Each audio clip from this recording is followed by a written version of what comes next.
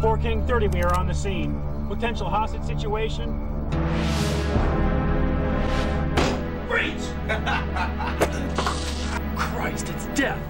The curse you'll give your boss will walk the earth for eternity.